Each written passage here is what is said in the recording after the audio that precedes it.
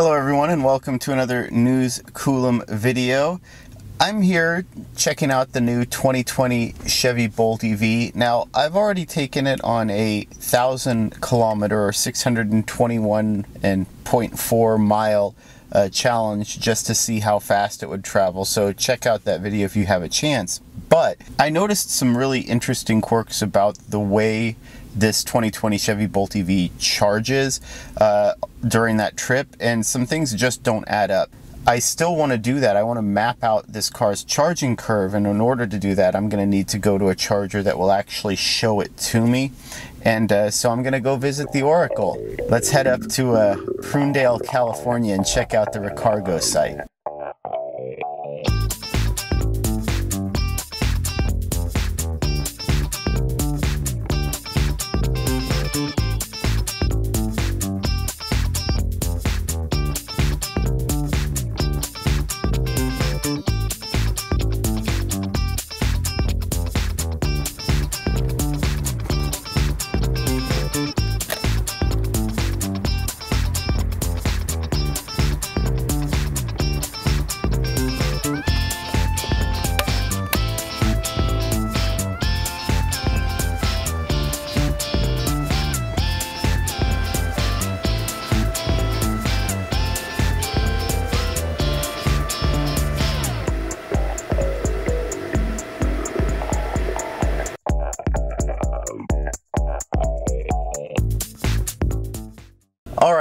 That was a bit disappointing. Uh, that's what I get for trying to run and grab dinner while uh, the charging curve is what I expected it to be, right? Um, this was an exceptional circumstance where it stepped down the, the charge amperage really early for I, uh, for whatever reason I don't know. Um, but I, I, do have logs of the other the other times where it actually was able to maintain the 150, and it does so mostly consistently. Like I said, I it, it, whether it's with the car or with the charger, uh, there's some sort of a breakdown in communication. So when I came back, we were only at 47% battery after you know nearly an hour, right after uh, a little over 50 minutes and it was charging at 100 amps. For us to only get to 47% battery uh, by after 55 minutes, some that it had to be charging at 100 amps for a long time. So I'll have to check the logs for that. Um, but suffice to say that based on what I've seen already, uh, I I'm very familiar with that basic. Uh, charging curve below 51 to 55% battery. And it seems like it, it works in a very similar way to the previous model Bolt EVs where depending on battery temperature is where it starts its taper or step down point. Uh, and when the battery is cool, it will maintain 150 amps all the way up to 55% battery. But what's unique about the 2020 Chevy Bolt EV and its new battery that I kind of wanted to showcase is that rather than doing the traditional uh, charge rate step down, uh, once it hits that uh, point where it starts to taper the curve, it actually is a charge curve, uh, very similar to like what Tesla does or uh, what Jaguar has done with their I-Pace. So it's basically a steady decline uh, in amperage over time. And, and what that does is rather than have those abrupt step downs, it, it maintains a higher rate uh, for an extended period of time.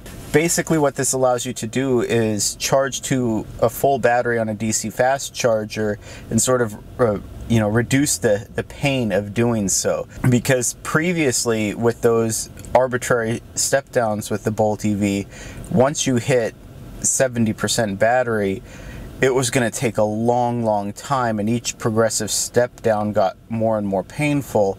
Uh, and that's why the 2017 to 2019 Bolt EVs take about two and a half hours to charge from empty to full, where the 2020 Bolt EV, based on what I've seen, should take two hours. So basically, it's 30 minutes faster. So why did GM do this with the charge curve, right? Why did they set it up this way so it's tapering down toward the end?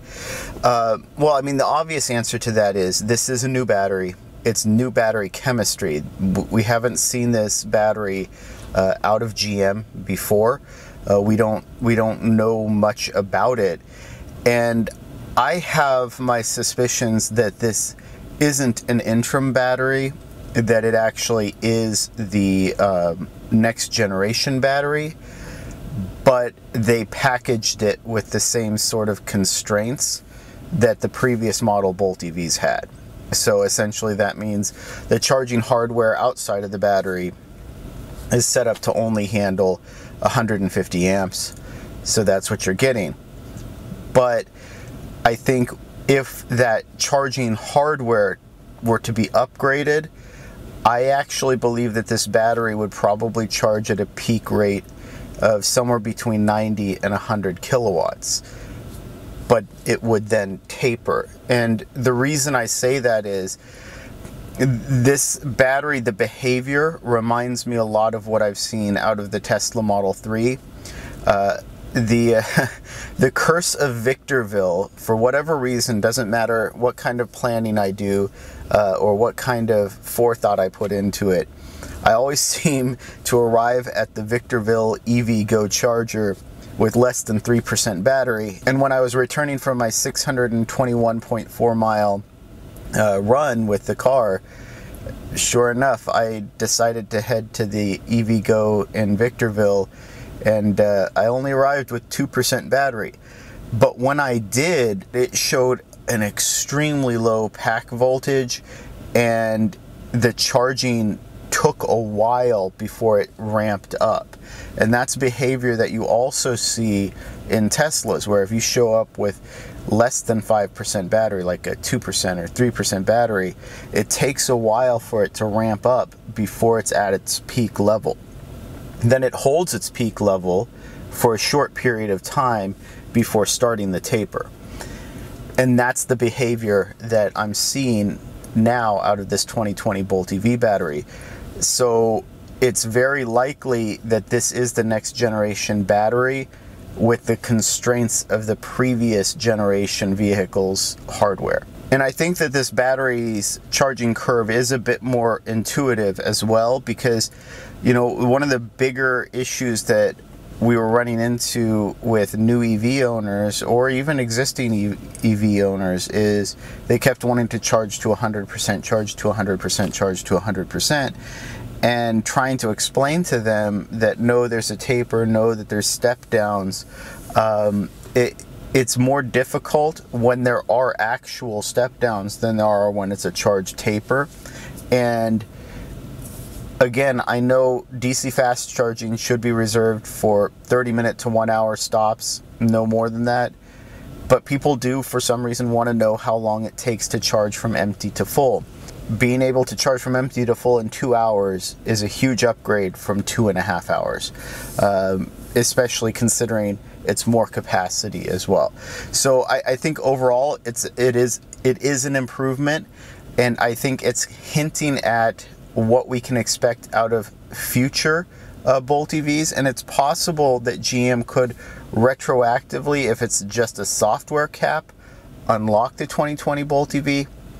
But if it is a hardware constraint, it's possible that an aftermarket hardware could allow the battery in the 2020 Bolt EV to, like I said, probably charge at a peak rate of 90 or 100 kilowatts, at least for 20 to 30 percent of the battery uh, before it starts to taper uh, the charge rate. And uh, if that's the case, then who knows? Maybe maybe there's an option out there for someone. But who knows how many of these 2020 Bolt EVs will be sold before the 2021 Bolt EV um, is released. So I'd love to hear what you think, what you think of the new charging rate. Like I said, you're not really losing anything on the bottom end, and you're actually gaining uh, some functionality on, on the upper end, like being able to maximize a uh, 125 amp, uh, 50 kilowatt charger until like 60% battery, when before you know that that ended at 51 to 55 percent. So I think there are some some definite benefits, but I'd love to hear what you think. Uh, if you enjoyed this video, uh, please like and subscribe. It really helps out the channel, and uh, thank you for watching.